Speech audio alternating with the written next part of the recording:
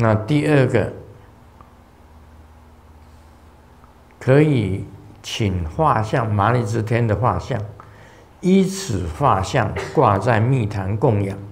行者自画麻利之天菩萨，是否需要写信请师尊开光加持？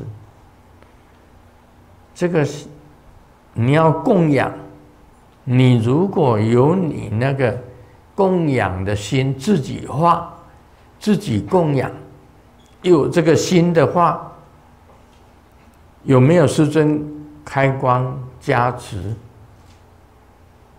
哦，写信请开光加持，当然是可以。那你自己已经画了，用心画了，你已经用了心画了，这个麻利之天的这个画就有效。你已经用心了，那就可以。啊，不一定要开光加持。